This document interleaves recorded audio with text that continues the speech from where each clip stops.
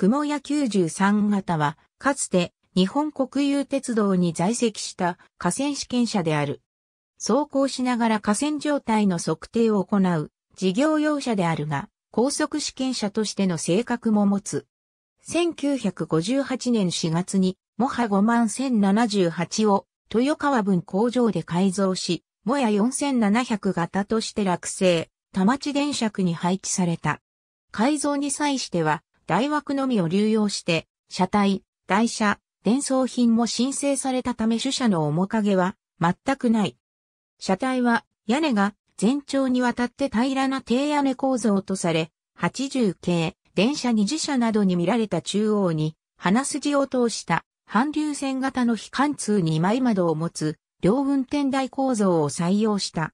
全小灯は高速走行に備えて上部中央に 250W 一灯のほか、左右の走化にそれぞれ 250W 一灯ずつを配した3灯式とした。車体は武道色2号で塗装されていたが、車体の上下にはクリーム1号の帯が巻かれ、さらに前面には同じ色の髭が塗装されて、高速運転時の警戒色の役目を果たしていた。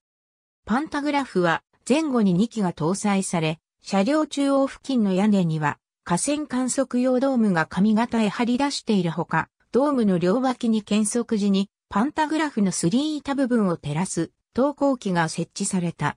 また、パンタグラフは2機とも交流2万ボルトにも対応した高直両用型であり、交流車両に牽引されれば、交流電化区間での調査を行うことができた。台車は川崎車両が試作した軸両式の OK-4 を装着した。主電動機は試作品の1時間定格出力が 158kW と強力な MT901 を4機搭載。歯車比は30、52イコール1、1.735と高速度運転に適する仕様としたが、駆動装置は従来通りの吊り掛け式を採用している。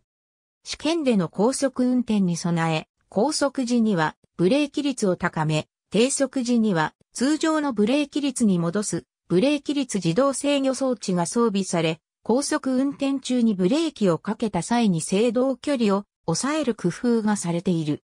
車内は前くらいから暗室、整理室、寝室、倉庫、観測室、測定室、電源室で、測定室には各種測定機器が装備された。以下の記録を樹立している。ありがとうございます。